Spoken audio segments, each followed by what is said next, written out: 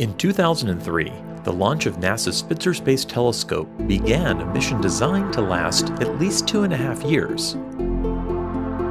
Thirteen years later, Spitzer has operated far beyond the scope of the original mission.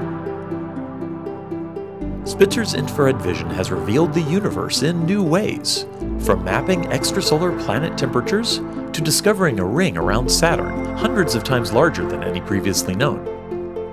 Spitzer has also discovered tiny buckyball molecules in space and produced a 360 degree infrared panorama of the Milky Way.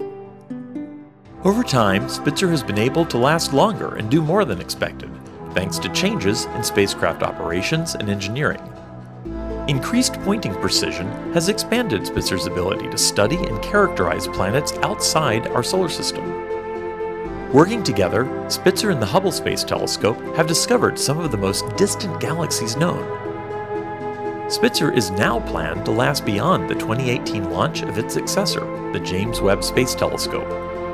Already more than 130 million miles away, Spitzer faces increasing challenges communicating with Earth, requiring engineers to override some autonomous safety systems. While this adds extra risk, it opens the door for years of new exciting discoveries as this mission phase continues to take Spitzer beyond.